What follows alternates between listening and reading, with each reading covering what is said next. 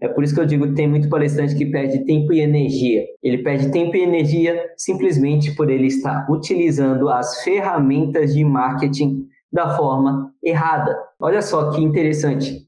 Disparo de e-mails automático é uma ferramenta de marketing. Você abrir relacionamento com uma pessoa é uma ferramenta de marketing. Você utilizar gatilhos mentais é uma ferramenta de marketing. Só que quando você utiliza ferramentas das formas erradas, não vai gerar resultado. Se você pegar um martelo para tentar pregar na parede, um canudo, ele não vai entrar na parede. Você está utilizando essa ferramenta de forma errada e muito possivelmente você vai se machucar, porque você vai pregar lá, tentar pregar o canudo, o martelo vai passar e dar tudo na sua mão. E da mesma forma funciona aqui, utilizando essa nossa ferramenta, o marketing, da maneira errada, palestrante. E você também pode se machucar, não fisicamente, mas você se frustra. E aí a sua carreira como palestrante que sai machucada, sai ferida. Porque você começa a se desmotivar, inevitavelmente vai desistir de ser um palestrante.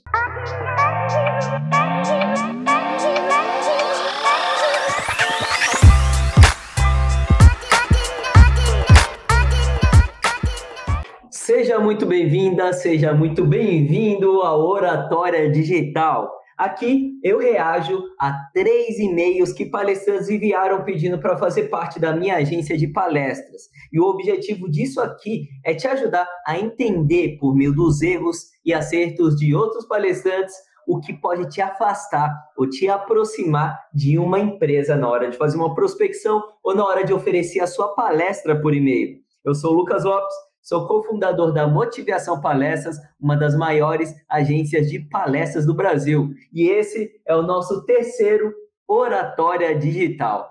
E por que o nome é esse? Porque Oratória Digital? Porque vocês, palestrantes, são ótimos oradores no palco. Mas aqui nos e-mails, como você mesmo vai ver hoje, ah, muitos palestrantes deixam a desejar. Como eu sempre repito, em todo episódio do Oratória Digital eu digo isso. Seus e-mails eles precisam ser sustentados por quatro pés, igualzinho uma mesa. E se algum desses quatro pés que precisam sustentar os seus e-mails tiver faltando em algum dos seus e-mails, você corre um grande risco de ser ignorado ou de ser jogado no spam quando envia um e-mail para alguma empresa. Vamos lá. Esses quatro pés são simplicidade, objetivo claro, atratividade e interesse. Seus e-mails precisam ter esses quatro pés: simplicidade, objetivo claro, atratividade e interesse. Vamos analisar os nossos e-mails. Deixa eu compartilhar o meu slides com você que está assistindo a gente aí no YouTube ou no Facebook. Deixa eu dar um recado para você que está assistindo esse nosso episódio, esse nosso programa do Oratória Digital pelo Spotify, especificamente nesse nosso programa de hoje no Oratória Digital, é muito importante que você, palestrante, assista pelo YouTube, porque lá no YouTube eu vou mostrar os e-mails que eu estou analisando. Então, além de ouvir, se você está aí no Spotify, não tem jeito, né? E lá eu estou compartilhando minha tela. Aqui na minha tela eu vou mostrar para vocês os e-mails que eu vou analisar hoje. E tem alguns e-mails bem interessantes. Antes de começar a analisar, de novo, eu quero mostrar para vocês como que funciona a organização do meu e-mail. Eu acredito que a organização dos e-mails da maioria dos contratantes de palestras funciona dessa forma aqui também. O objetivo principal nas empresas é economia de tempo para aumento de produtividade. Então, todas as ferramentas utilizadas no corporativo são voltadas, na maioria das vezes, para o ganho de tempo. O e-mail é uma dessas ferramentas que é modelado para a eficácia do seu tempo, né? Para o ganho de tempo. E por que eu estou falando isso? Porque o meu e-mail ele está no modelo que me ajuda a ganhar tempo. E eu acredito muito que as empresas, na maioria delas, utilizam o mesmo layout da caixa de entrada de e-mails que eu estou usando aqui e estou compartilhando com você no slide. Que layout é esse? Um layout que na coluna da esquerda eu tenho a minha lista de e-mails que eu recebi e que foram lidos ou não lidos ainda, e na coluna da direita eu tenho um resumo, um preview daquele e-mail selecionado. Como vocês estão vendo aí no slide, na minha tela, ali na esquerda tem os três e-mails que eu selecionei para analisar com vocês aqui hoje, e na direita tem um preview de um desses e-mails, tá? Então, muita atenção, palestrante.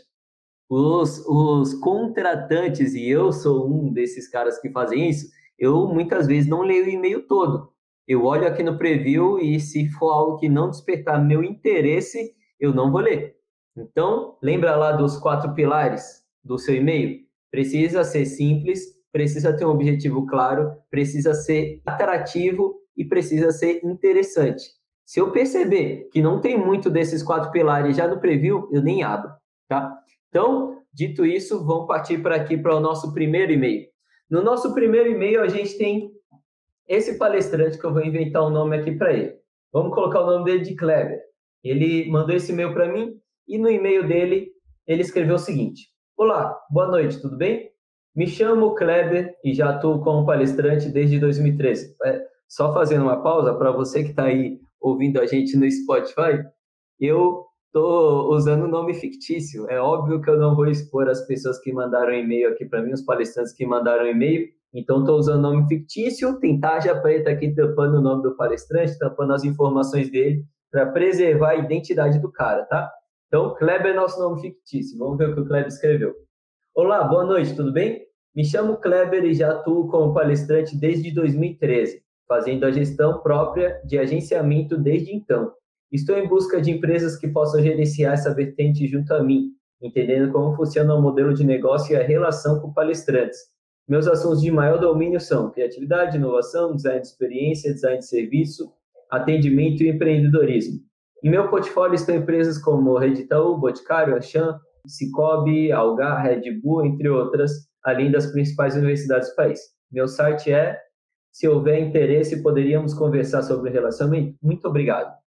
Vamos analisar esse cara aqui, o e-mail desse palestrante, seguindo os nossos quatro pilares. Então, primeiro pilar, você lembra qual é? O e-mail precisa ser simples. Esse é um e-mail simples? Relativamente simples. Ele tem ali quatro linhas, basicamente, cinco linhas, né, com aquela última linha do site e depois a despedida dele. Então, é basicamente um e-mail simples. Segundo ponto, precisa ter um objetivo claro. Qual é o objetivo do Kleber aqui com o e-mail dele? Vamos analisar. O objetivo do Kleber é buscar uma empresa que agencie a carreira dele como palestrante. E aqui está um primeiro ponto, palestrante. Uma agência de palestras não é uma agência de palestrantes. Se você já me acompanha aqui nos nossos conteúdos, você sabe disso.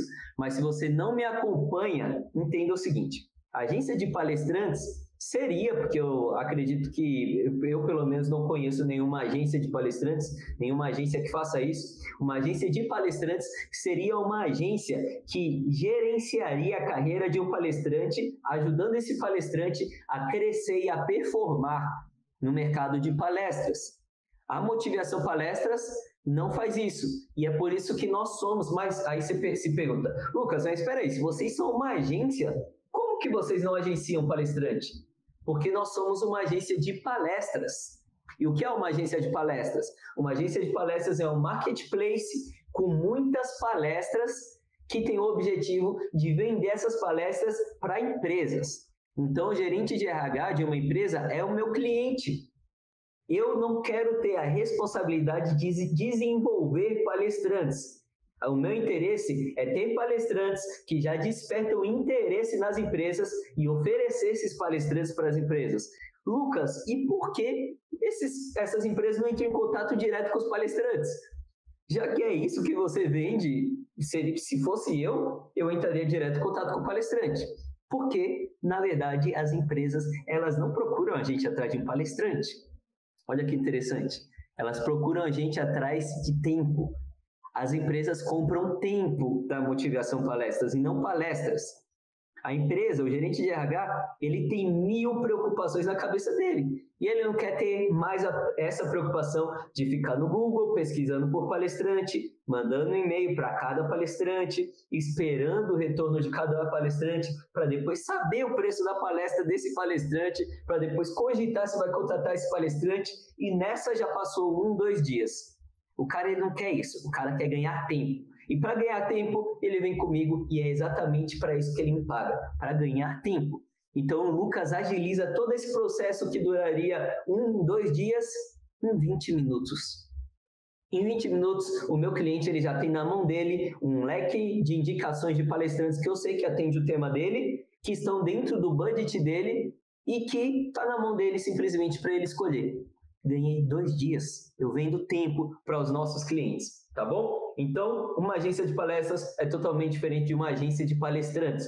Quando um. E eu entendo que isso não é óbvio, e é por isso que muitos palestrantes entram em contato comigo uh, pedindo para serem agenciados, procurando uma empresa que cuide da carreira deles, como foi o caso do Kleber aqui do nosso e-mail. Então, o objetivo aqui do Kleber também ficou claro. O objetivo dele é encontrar uma agência que gerencia a carreira dele.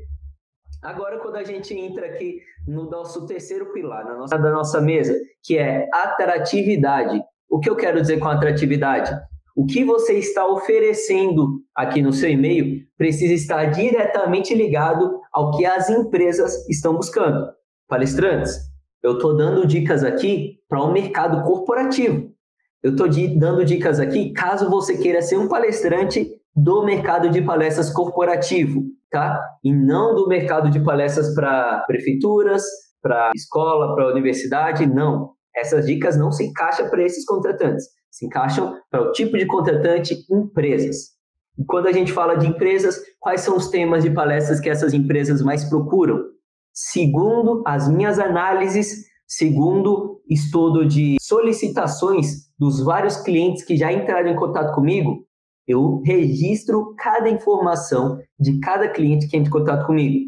Então, eu sei todos os temas que os clientes dos últimos quatro anos pediram para mim, porque isso tudo está registrado aqui internamente.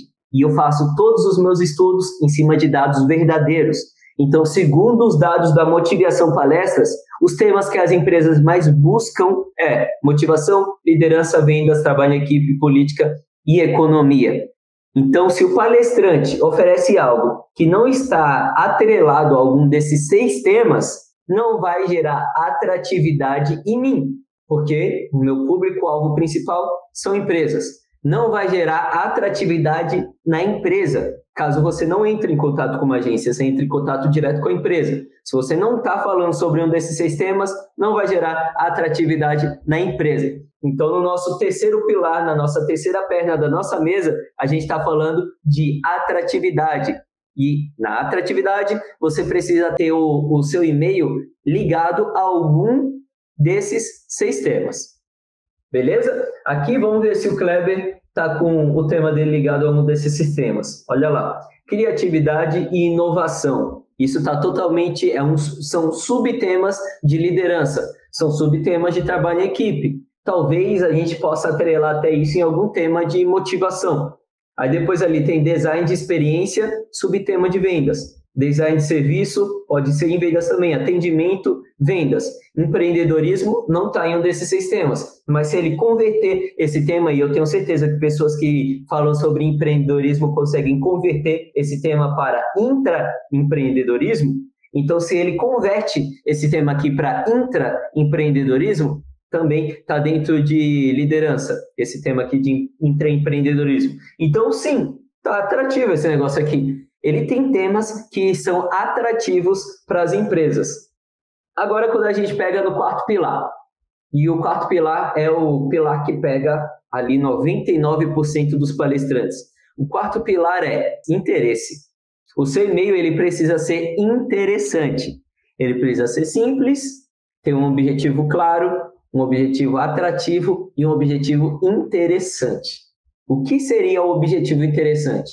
Basicamente, e-mail, um e-mail interessante, é um e-mail totalmente diferente de qualquer outro palestrante que fale sobre os mesmos temas que você. Eu tenho certeza que outro cara que fala sobre criatividade, inovação, design de experiência, design de serviços, assim como o Kleber fala, ele não escreveria o um e-mail para uma empresa ou até mesmo para mim, usando as mesmas palavras, usando essa mesma estrutura que o Kleber usou. Mas eu tenho certeza absoluta que ele usaria palavras e uma estrutura que traria sentidos parecidos com esses que o Kleber trouxe. E quando isso acontece, eu vou colocar o Kleber e esse outro palestrante aqui na mesma caixinha mental na minha cabeça. O seu trabalho, palestrante, para ser interessante é justamente se destacar dentro das caixinhas mentais da cabeça dos contratantes. quando você tem um posicionamento único, diferente de qualquer outro palestrante que fale sobre os mesmos temas que você, você automaticamente se torna mais interessante do que todos esses seus outros concorrentes, entre aspas. Você automaticamente se destaca de todos esses outros palestrantes que falam sobre os mesmos temas que você. Então é muito importante que você tenha um posicionamento único. E aqui falando sobre posicionamento único, quando a gente fala de atratividade, por exemplo, o Kleber entrou em contato comigo querendo que eu agenciasse a carreira dele, querendo que a motivação, perguntando sobre o interesse da motivação palestras em agenciar a carreira dele. Como eu já disse, nós não fazemos isso, mas se ele tivesse, por, por exemplo, colocado um posicionamento único aqui, poderia ter me despertado muito mais interesse. Vamos supor que ele não tivesse pedido para eu agenciar a carreira dele, ele só quisesse entrar no meu site, ser indicado para os meus clientes. Se ele fala isso daqui que ele acabou de falar, ele está aqui no mesmo nível que todos os outros palestrantes que falam sobre os mesmos temas. Mas se ele traz um posicionamento único e que difere ele de qualquer outro palestrante que fale sobre os mesmos temas que ele, eu vou ficar curioso. E por ele ter despertado essa minha curiosidade, ele tem portas abertas para que no próximo e-mail que ele enviar, eu queira, grifa essa palavra, eu queira ler. Olha só, eu vou querer ler o próximo e-mail que ele me mandar, simplesmente porque ele me causou curiosidade no primeiro e-mail que ele me mandou. Como ele causou curiosidade? Por meio do posicionamento único. Ele se diferenciou nas minhas caixinhas mentais de qualquer outro palestrante que eu já tenha ouvido falar que é especialista em qualquer um desses temas. E o seu objetivo, aqui fica uma dica minha para você, palestrante, seu objetivo nos seus e-mails de apresentação para contratantes, para empresas, é abrir um relacionamento. Você deve abrir relacionamento e não tentar vender nos primeiros e-mails que você envia para as empresas, tá bom? Porque senão é, é muito baixa a probabilidade de você conseguir, na mesma hora, encaixar ali num possível contratante que está procurando aquele exato momento de um palestrante que fala exatamente sobre aqueles temas que você. Mas quando você abre um relacionamento com ele, você está abrindo as portas, caso você tenha um posicionamento único, ou seja, caso você seja interessante, para que ele queira ler um próximo e-mail seu que você vai deixar curiosidade também para ele querer ler um próximo, um próximo, próximo, um próximo. Você percebe como são vários encontros com você? E nesses vários encontros você está criando um relacionamento com esse possível cliente. E se você cria um relacionamento, são muito mais altas as chances de você ser cogitado quando finalmente esse contratante estiver procurando por um palestrante. Existem estágios de interesse dos contratantes de palestras, épocas em que eles estão interessados e época em que eles não estão interessados em contratar palestrantes. E em breve está chegando aí um episódio do podcast Mercado de Palestras falando exatamente sobre isso, sobre os estágios de interesse do contratante de palestras, que são quatro: estágio da inércia, justamente um estágio em que o contratante não está procurando por ninguém, estágio do insight, quando ele começa a cogitar algumas ideias, algumas possibilidades de contratar palestrantes, estágio do Nick, aqui é quando ele já sabe que vai contratar um palestrante e ele escolhe ali de acordo com o método Nick, e estágio do fã, quando ele está tão convicto que quer contratar aquele palestrante que ele pagaria o preço que for, esperaria o tempo que for para contratar a palestra de um palestrante X, do Cortella, do Bernardinho, por exemplo. Então, fica esperto que os próximos episódios do podcast Mercado de Palestras eu vou falar sobre isso. Tá bom? Se você está me ouvindo no Spotify aí, fica esperto também para os próximos episódios aí do nosso podcast. Então, voltando aqui à nossa análise do nosso e-mail, desse nosso programa Oratória Digital, esse palestrante aqui, ele não tem um e-mail interessante. E como particularmente para mim, Lucas Lopes, ele mandou um e-mail querendo ser agenciado querendo que a Motivação Palestras gerencie a carreira dele como palestrante e eu não faço esse serviço, não foi atraente para mim. O objetivo que ele me expôs por meio do e-mail dele não é atraente para mim, apesar dos temas que ele fala serem atraentes. Aqui, antes da gente passar para a análise do próximo e-mail, eu quero deixar um destaque para você. Você viu que ele deixou o site dele ali no e-mail dele. E eu gostei bastante do site dele. O site desse cara aqui é muito bem montado. É muito bom o site dele. Aí eu fiquei perguntando, que esse cara não criou um Media Kit tão bom quanto o site dele? Olha as empresas que ele já passou. Boticário, Anshan, Cicobi, Algar, Red Bull. Esse cara aqui, o que ele, os temas que ele fala são muito interessantes. E as empresas que já ouviram ele são empresas grandes. Gatilhos mentais como esses que eu acabei de passar para você, o que basicamente, palestrante, isso é muito importante. Você, você, se você sacar isso daqui, você vai começar a conseguir arquitetar de formas mais encaixadas as suas estratégias na sua carreira como palestrante. Toda estratégia de marketing, toda tudo relacionado a marketing são apenas ferramentas para que você potencialize os resultados que você quer alcançar em qualquer área não só na sua carreira como palestrante, em qualquer área, mas falando aqui especificamente da sua carreira como palestrante. Gatilhos mentais que com certeza você conhece, porque são ferramentas famosíssimas de marketing, eles são basicamente elementos que você joga despretensiosamente. Eu, como leitor, acredito que foi despretensiosamente, mas você, como palestrante que arquitetou essas ferramentas dentro do seu texto, você joga estrategicamente no seu e-mail com a intenção de gerar pensamentos na minha cabeça. Então, olha o que eu acabei de falar sobre o Kleber aqui, que a gente está analisando o e-mail dele. Olha o que eu pensei. O cara ele fala sobre temas que são interessantes para os meus clientes. E ele já palestrou para empresas como Red Bull. Então, caramba, o que ele fala deve ser bastante interessante, porque se a Red Bull contratou ele, é porque tem valor no que o cara está falando. Olha o pensamento que eu concluí a partir do que ele escreveu. No marketing, você usa ferramentas para fazer com que pessoas tenham pensamentos, palestrante. Olha que lindo! E é por isso que eu sou apaixonado pelo marketing. Eu sou formado em marketing, se você não sabe. É por isso que eu sou apaixonado por marketing. Porque a gente consegue moldar o que a gente quer que as pessoas pensem sobre nós. Lucas, mas caramba, isso daí é muito feio que você está falando. Você está querendo manipular pessoas? É isso? Estou entendendo certo? Não. Você, como palestrante, precisa gerar percepção antes mesmo de ter a oportunidade de vender a sua palestra. Ou seja, é extremamente necessário que você, palestrante, consiga fazer com que os seus possíveis clientes pensem coisas positivas sobre você. E se você não se preocupa em arquitetar esse fluxo de pensamentos que eu acabei de te mostrar, não tenha dúvida, você vai deixar aberto para o achismo do cara que está recebendo seu e-mail, que está sendo impactado pelo seu material, você vai deixar por conta do achismo dele imaginar coisas sobre você. Mas caso você utilize o marketing e planeje, arquitete o que ele precisa pensar sobre você, aí sim você não vai deixar do achismo dele. Você arquitetou o que você quer que ele pense. Então, não sei se foi a intenção aqui do Kleber, aqui no e-mail que ele escreveu, fazer com que eu pensasse isso. Aqui é um gatilho de autoridade, né?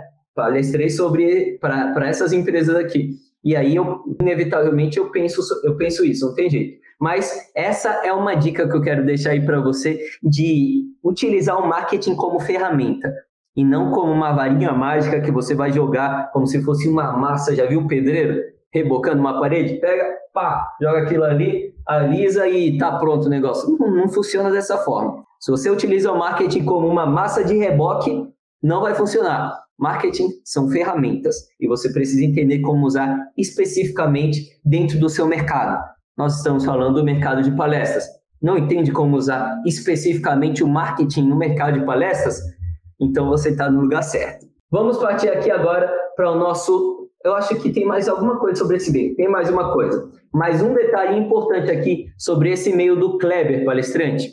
Então, como você está vendo aí a minha tela, estão percebendo, no final desse e-mail do Kleber tem a assinatura dele. Então, ele deixou ali o e-mail dele, o telefone dele, o site dele.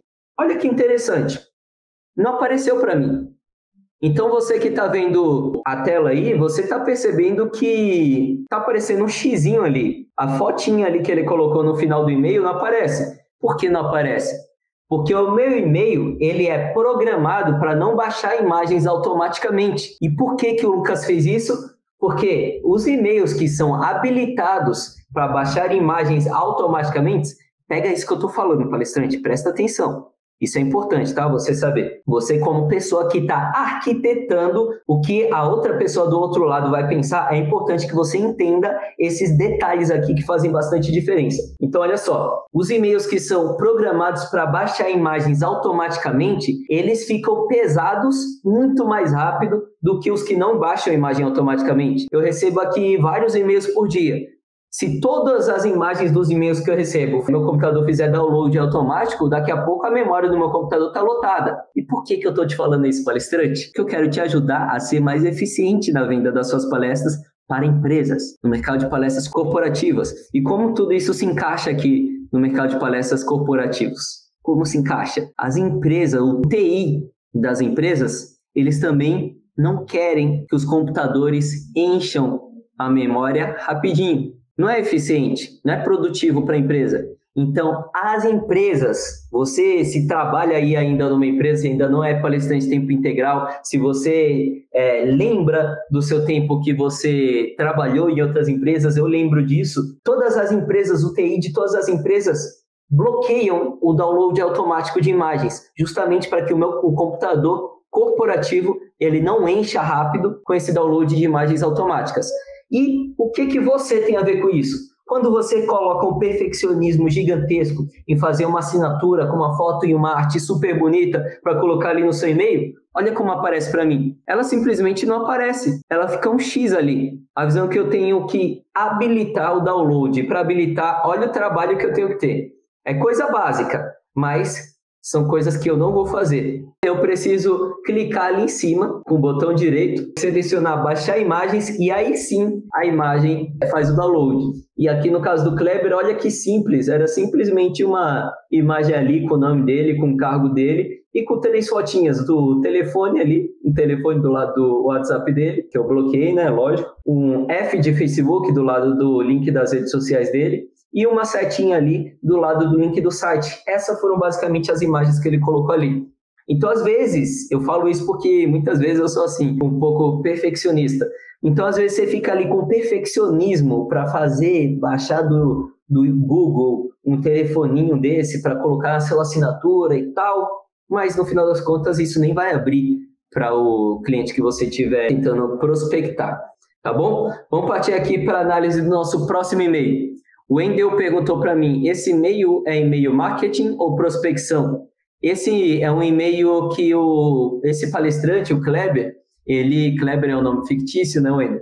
Ele entrou em contato comigo para pedir para que eu agenciasse a carreira dele como palestrante. Então, uh, eu posso encaixar aí como um e-mail de prospecção, sim. Vamos aqui para o nosso segundo e-mail. O e-mail, o objetivo do segundo e-mail é parecido com o e-mail do, do Kleber e vamos chamar ele de Bruno. Tá? Então o Bruno mandou o seguinte: ele já tinha o nome da Natália, pelo jeito ele tentou ligar aqui na Motive e as meninas do meu comercial pediu para ele direcionar o e-mail para a Natália. Então ele mandou um e-mail aqui falando: Bom dia, Natália, como você está? Natália, me chamo Bruno, estou entrando em contato pois, faço palestras em Goiás sobre o meu case e estou tentando uma agência para comercializar a nível nacional. Veja se faz sentido para vocês. E aí deixa o Instagram dele ali. Na minha palestra faço o link entre os desafios que encontrei no empreendedorismo e no esporte. Falo sobre o mercado de alimentação saudável e na importância de estar preparado emocionalmente para construir um case de sucesso. Faço adaptações de acordo com o que o contratante busca com a palestra. Se fizer sentido para vocês, podemos bater um papo. Meu contato é, e ali deixou o contato dele. Bom, no caso do Kleber, o primeiro e-mail que a gente analisou, ele queria que a Motivação Palestras agenciasse a carreira dele como palestrante. No caso aqui do Bruno, ele quer que a Motivação Palestras ajude ele a ganhar nível nacional como palestrante. O objetivo dele, acabei pulando aqui a primeira perninha da nossa mesa, né? Mas o objetivo dele é basicamente ganhar amplitude na carreira como palestrante por meio da Motive. Então ele quer entrar aqui no site, provavelmente ser indicado pelas nossas consultoras para os nossos clientes. Revisando os nossos quatro pilares.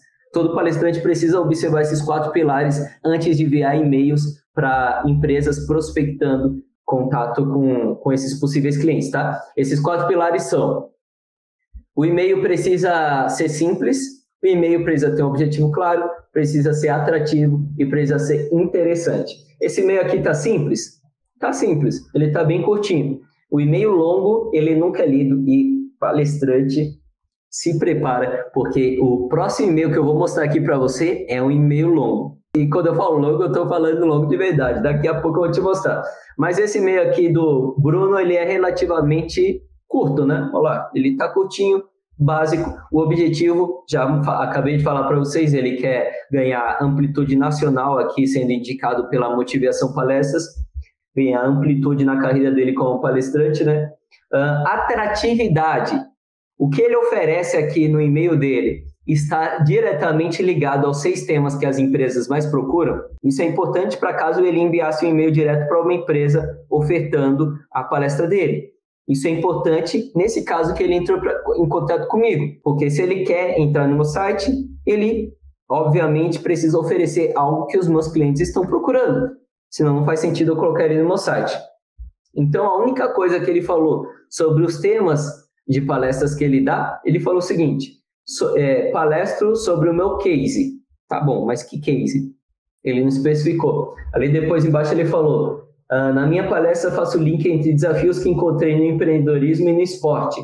Falo sobre o mercado de alimentação saudável e da importância do preparo emocional para construir um case de sucesso. Então você percebe que o negócio está meio no ar. Não está claro para mim sobre o que ele palestra. Ele fala que na palestra dele, ele fala sobre esses temas, mas ele não fala sobre os temas específicos que são especialidade dele. Eu falo sobre empreendedorismo e o esporte e alimentação saudável. Eu não consigo encontrar muito link entre esses temas. E outra coisa, o que, que alimentação saudável tem a ver com um dos seis temas que as empresas procuram?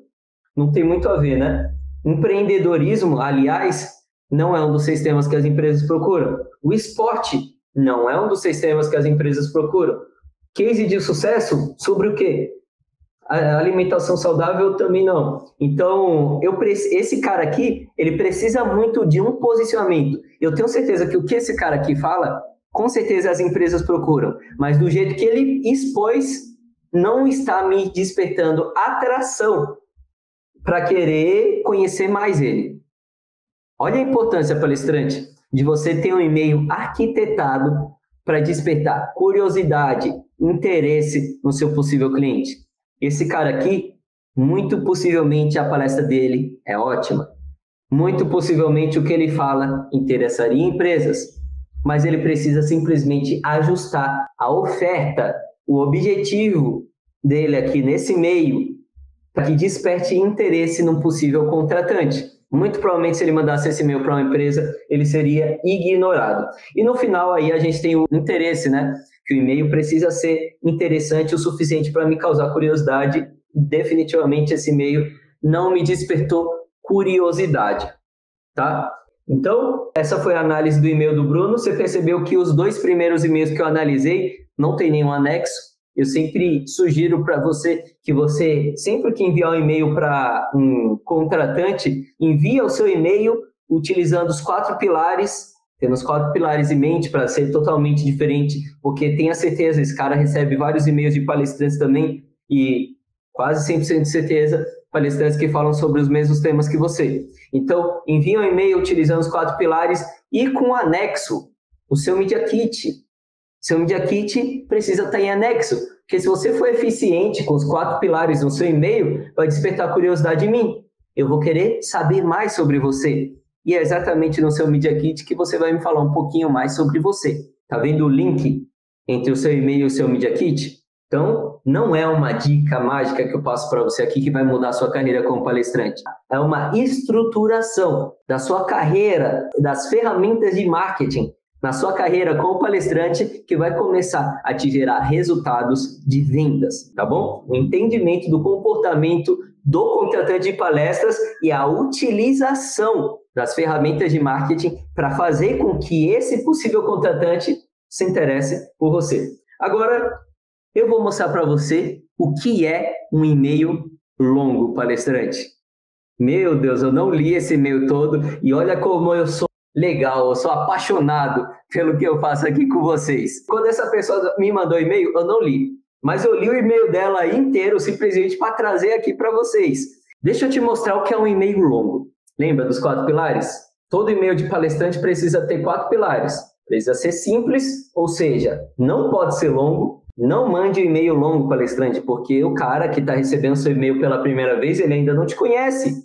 Se ele não te conhece, ele não está interessado o suficiente em você para ler um textão. Você tem preguiça, você, estou falando com você, palestrante, você tem preguiça de ler um textão de uma foto de alguém que você segue, olha só, de alguém que você segue, ou seja, que você conhece no Instagram. Imagina você mandando um e-mail gigantesco para alguém que nem te conhece, que eu nem sigo. Diminuiu mais ainda a possibilidade, né? Então, o seu e-mail precisa ser simples, curtinho, manda um parágrafo com no máximo quatro linhas, precisa ter um objetivo claro. Esse objetivo, além de claro, precisa ser atraente ele precisa ser atraente, ou seja, está ligado diretamente a temas de palestras que o corporativo já busca, e ele precisa ser interessante. Ele precisa te diferenciar de todos os outros palestrantes que falam sobre os mesmos temas que você. E nesse quarto e-mail você vai ver que a pessoa já peca no primeiro pilar. Esse e-mail é um resumo de o que é um e-mail longo. Olha só, olha o tanto de slide que eu precisei preparar aqui para você só para mostrar o tamanho desse e-mail para você que está ouvindo o nosso podcast pelo Spotify, eu vou contar para você o tanto de slide que eu precisei para colocar esse e-mail dentro. Então vamos lá. Um, dois, três, quatro, cinco, seis, sete, oito. Eu precisei de oito slides para compartilhar um e-mail que eu recebi de um palestrante justamente por causa do tamanho do e-mail. E uma outra coisa que você que está vendo aqui a minha tela vai perceber: esse daqui foi um e-mail disparado automaticamente. E olha o perigo de você criar um e-mail automaticamente achando que o cara que está recebendo seu e-mail é bobo. Olha o que a pessoa me escreveu. Olá, tudo bem? Meu nome é blá blá blá, sou responsável pela área comercial de relacionamento da blá blá blá e tive excelentes recomendações sobre o trabalho da motivação. Só que, palestrante, cara, eu sou de marketing. Eu entendo das ferramentas de marketing. E só de ver a estruturação desse e-mail, eu já consigo perceber que essa pessoa enviou esse e-mail para mim de uma ferramenta de disparo automático de e-mails. E não, não tem problema nenhum você disparar e-mails para sua lista utilizando uma ferramenta de disparo automático. Sabe qual é o problema? Você escreveu o seu texto como se não fosse, porque está na cara que é.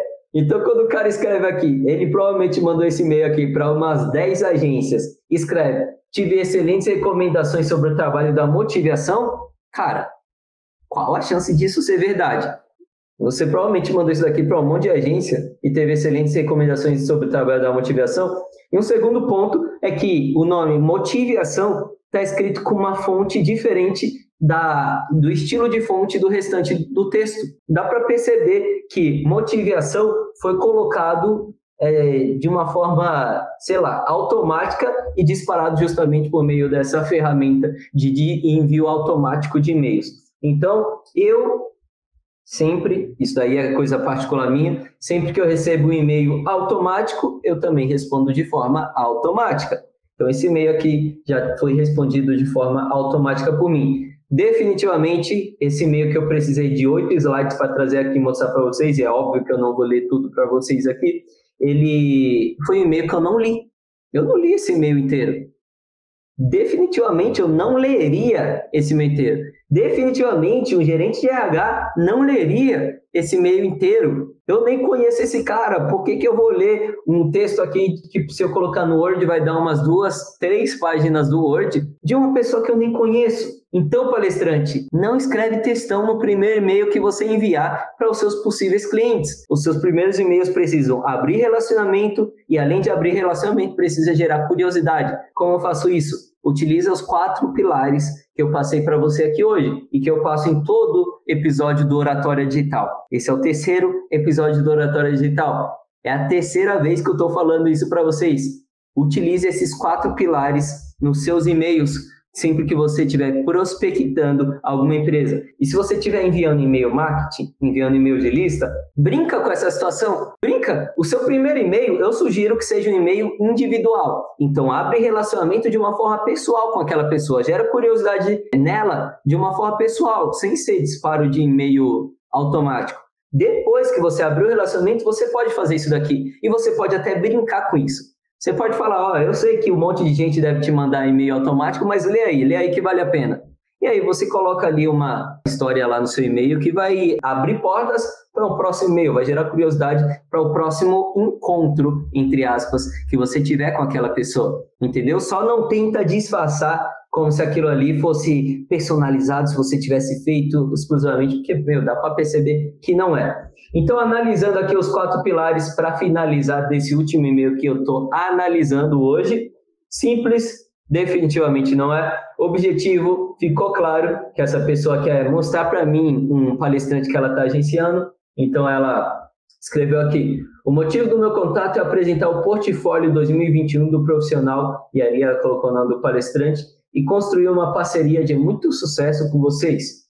Faça uma rápida, imagina se fosse longa, faça uma rápida apresentação abaixo e deixe os meus contatos para que possa enviar sua solicitação de agenda para 2021. Complicado. Não escreva textão. Vai ser tempo perdido. É por isso que eu digo que tem muito palestrante que perde tempo e energia. Ele perde tempo e energia simplesmente por ele estar utilizando as ferramentas de marketing da forma errada.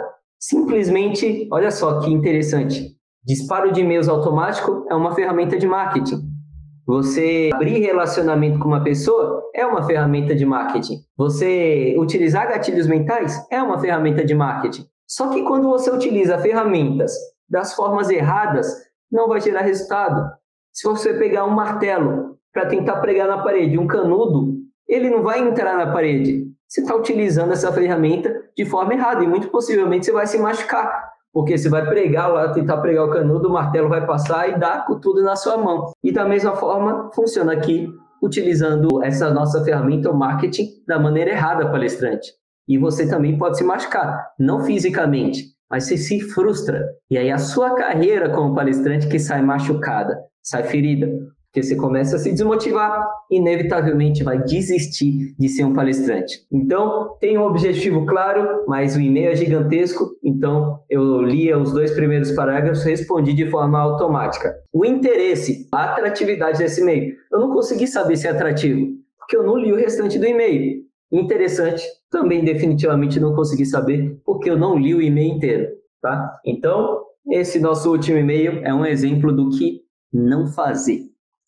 Bom, é isso. Esses foram os três e-mails analisados de hoje do nosso Oratória Digital. Aqui eu quero mostrar para você, palestrante, que já é mestre na oratória em cima do palco, como seu mestre na oratória também nos seus e-mails, nas suas apresentações, nas suas prospecções de empresas que você quer muito palestrar. Eu sou o Lucas Lopes, sou cofundador da Motivação Palestras. Tamo junto, qualquer coisa, conta comigo, só me chamar no Instagram. Tchau, tchau.